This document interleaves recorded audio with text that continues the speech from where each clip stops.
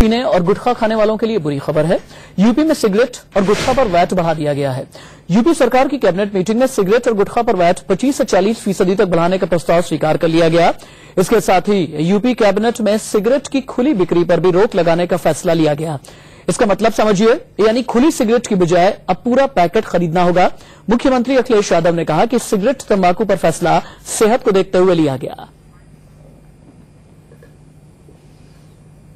Cigarette महँगी इसलिए है कि सिगरेट अगर पी जाती है तो कई लोगों का स्वास्थ्य का नुकसान होता है। उनके स्वास्थ्य में भी गलत प्रभाव पड़ता है।